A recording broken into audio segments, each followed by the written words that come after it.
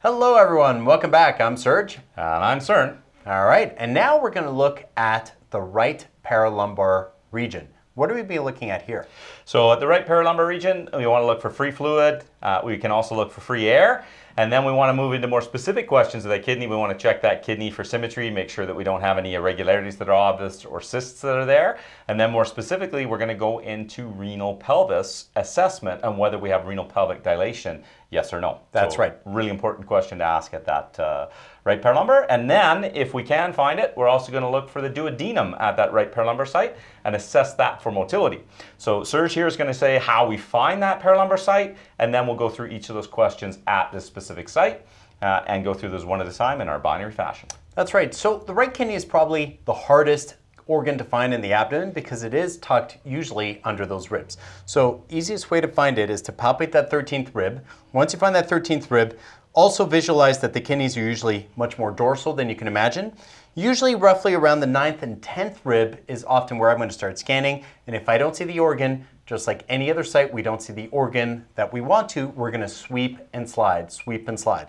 So I'm gonna go ahead and start right there. And you'll notice that we're scanning Daisy here in sternal because that's the position that uh, Daisy's most comfortable. So we're definitely going to scan Daisy in sternal here to allow you to see how we're going to do this. Yeah, and cat kidneys tend to be quite superficial, so we have our depth already set to about six or seven centimeters.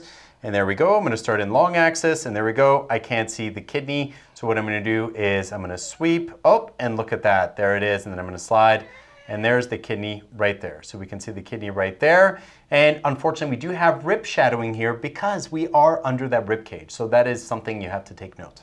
Absolutely. And once we see that long axis, a nice view here, we're going to make sure we fan all the way off all planes in long axis like Dr. Chaloub did right here. And then we're going to rotate that probe from long axis into short axis.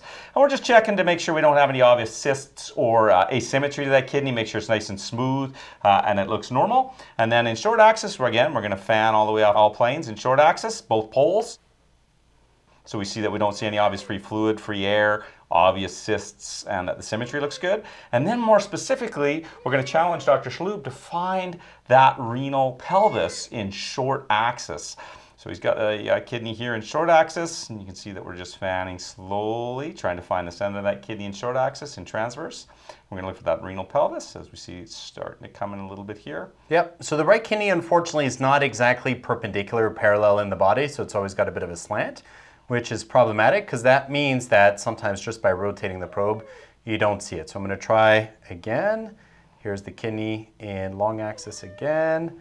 And this time I'm going to rotate with the marker the other way, just see if that, there we go. Yep. There comes the renal pelvis. So we got the crest coming in there, and we can see the renal sinus right there is a nice image of it. Yep. And in this cat, we don't see any anechoic uh, separation at the crest of the kidney there, which indicates that this is a normal renal pelvis. We'd be looking for an anechoic V-shaped or uh, as it gets bigger, C-shaped to rounded pelvis as we get problems. So you just got to find that uh, crest and that renal sinus as you see here in short axis.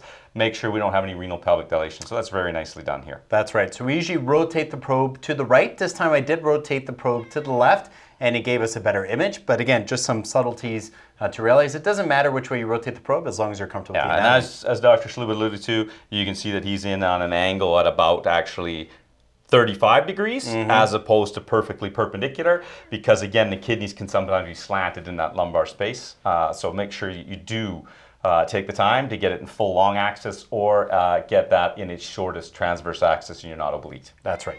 All right, so then the next thing we can ask ourselves is there duodenal generalized ileus? Looking at for generalized ileus, one of the sites we can look at beyond the stomach is the duodenum. So what you can do is sometimes find it by starting at the right kidney, and what you're going to do is start sweeping towards midline. So start at the right kidney, start sweeping towards midline, and you try to find the largest of the small intestines. Let me try more cranial.